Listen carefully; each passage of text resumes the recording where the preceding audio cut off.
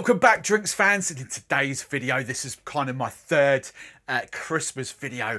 I'm going to be showing you how to make a snowball but also how to kind of pimp it up. I've got three variations here for you. Uh, the snowball is kind of the UK version of the US eggnog.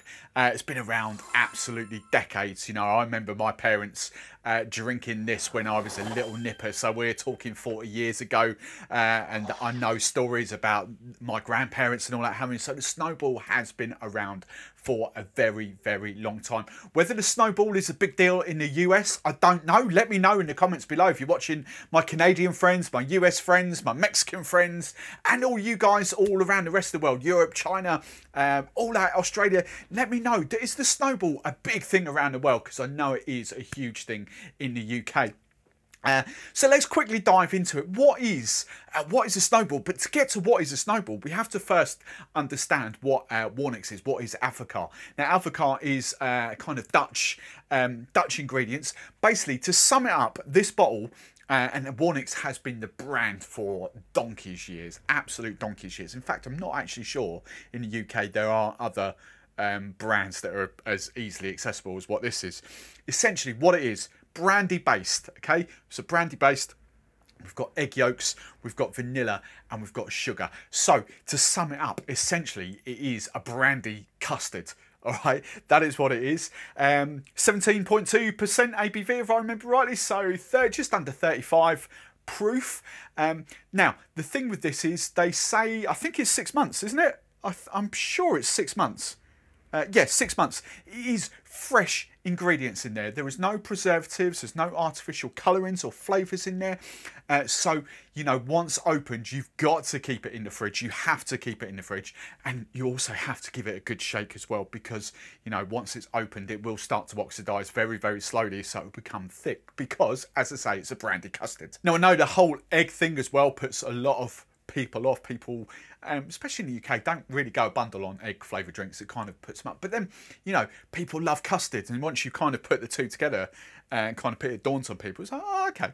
Now, uh, I'm not going to get too pretentious with this because the snowball is what the snowball is. There's no point going all proper and fancy with it uh, because it just, it will just never ever take off. The snowball does exactly what it's supposed to do. So I'm going to show you how to make it, what the snowball is. It even flipping tells you on the back of the bottle. It's like the Aperol spritz, you know, the Aperol tell you how to make a spritz. There is no rocket science about it at all. We want 50 mil. If I can pour it up there. You see on the slow-mo how thick that is? And then again, look at that. This is proper, proper sort of thick and gloopy. It's, it's, it's custard. It's alcoholic custard. That's what it is. Now, um, they say uh, they say fresh lime juice. Uh, and you could. I've got some fresh lime juice here. But do you know what? In the days of old, I don't think there's actually anything wrong with lime cordial. And for me, I, I 100% prefer this with lime cordial, just that little bit of sweetness. You can do lime juice and a bit of sugar if you wanted to, but don't faff around. Lime cordial is absolutely amazing. Uh, and I'm just going 25 mil of uh, lime cordial in there. Whatever lime cordial you've got, not a problem. And then obviously uh, we're going uh, lemonade. That's the kind of thing. I'll just measure this out. Um, I normally go double the amount of lemonade to uh, to Advocaat, so there we go, about 100 ml of that. And then it's just ice. That is it. That is your snowball. Uh, I'll just put a bit of ice in there just to start off with and just give it a little stir.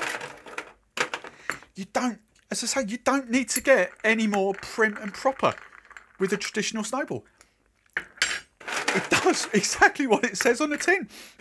It's amazing. Absolutely love it. Garnish do you even need to garnish it? Would you garnish it on Christmas Day? That is how a lot of people in the UK start Christmas Day, good old snowball. You know, it just does what it is. But here we go. So I've got two. Uh, so that's the classic. That is what a snowball is. If you're thinking, if you're searching for this and you found my video thinking, what is a snowball? That is exactly uh, what it is. It's kind of Advocaat, Warninks, Warninks Advocaat. Warninks is the brand, Advocaat is the drink. Uh, so think Smirnoff is the brand, vodka is the drink. So Advocaat, Advocaat is your drink. Uh, and then you've got lime juice, lime cordial, and lemonade. So let's take this on a little bit of a journey. Let's kind of just in the interest of just pimping up very, very slightly, um, the, the third one I'm going to show you is mind-blowingly good. I absolutely love it. But the second one I'm going to do is just a very, very obvious one. It's a champagne champagne flip for this. Uh, so again, depending on the size of your um, of your champagne flute, I'm actually going a little bit less because uh, my champagne flute's a little bit smaller. So I'm going 30 mil of Advocaat. I'm going about 15 mil of lime cordial. We've lost the lid. So 15 mil, half an ounce of lime cordial. I'd love to know, can you get, can you get um, Warninks, can you get Advocaat all around the world? I, I really want to know that, so let me know in the comments below. And then we just top up with champagne if you if you're posh, or prosecco if you're like us. Fizz. Let's just give it a stir. Actually, other end barman, other ends. There we go. That's really good. I'll tell you what else you could do as well. I've got these. I'll, put, I'll zoom into these on the close-up. If you are entertaining on Christmas Day, and I know we're allowed in the UK uh, under COVID, and if you're watching this next year, you're thinking, what's all about? Uh, you could pimp this up. There's some edible um, shimmers, some gold stuff you could just get on Amazon. I'll put links to this.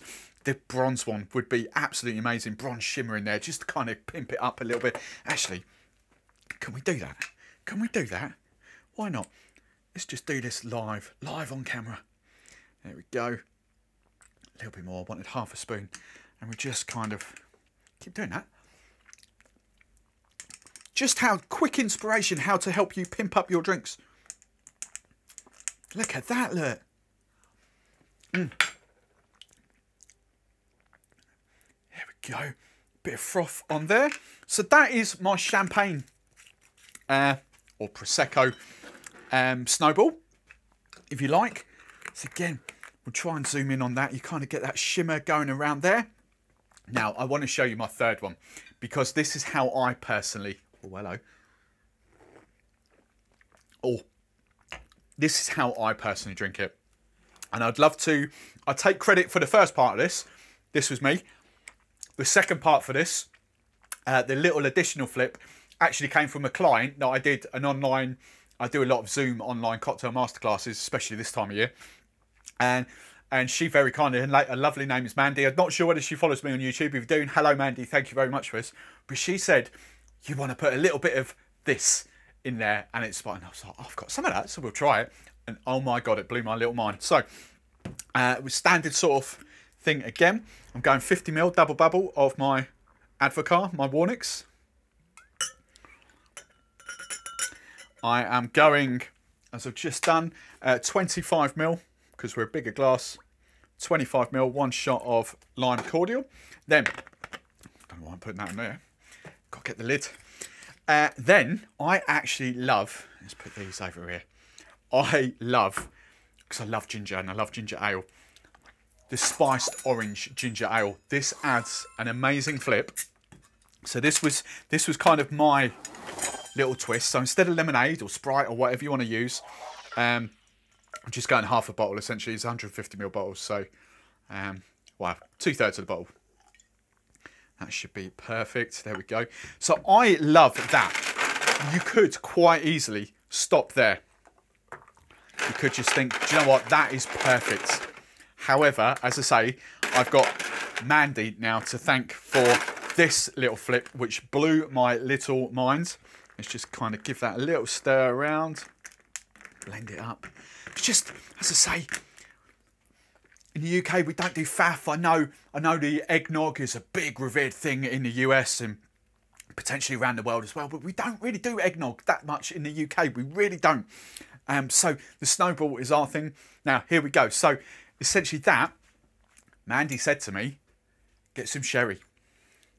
So I've got some sherry. This, I'll be honest, is just supermarket owned brand. It's actually finest. I love this. It's Tesco's. I love this cream sherry.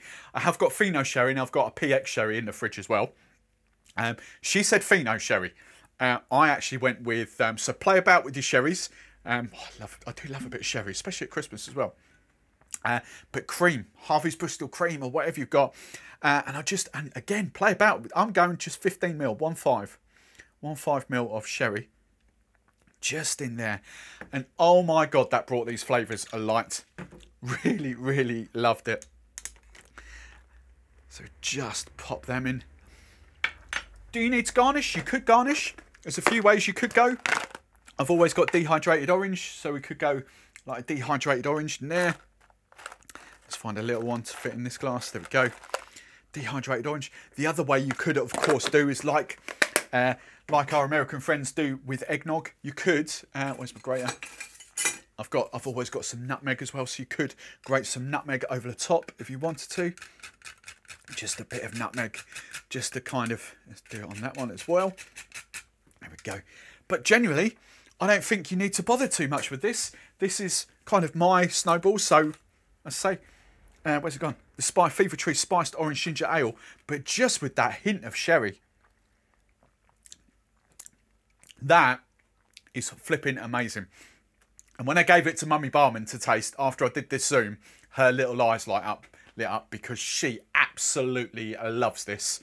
Uh, her classic snowball, as I said, drunk it for years. Her little eyes lit up. She absolutely loved this with the sherry and that. So, all you classic snowball fans, I promise you, try it with the spiced orange ginger ale or even ginger, normal ginger ale if you fancy.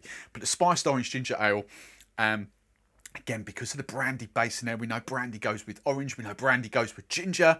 We've got that custard notes, but then that just that little hint of sherry in there is absolutely